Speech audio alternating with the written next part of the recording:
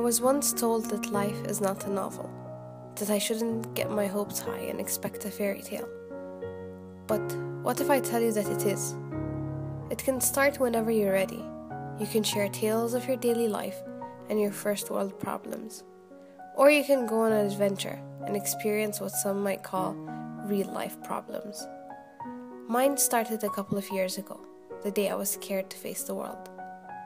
Life took me on a roller coaster it might seem exciting to many, but not to a person with a phobia from heights. There'll be a knot in your rope of life when you feel like it's the end of the world, when you're stuck in the middle of a tunnel and forget that the darkest times are just before dawn. But that climax is the beauty of it all, because just after that, you'll understand why your story is different. You'll understand why your story matters.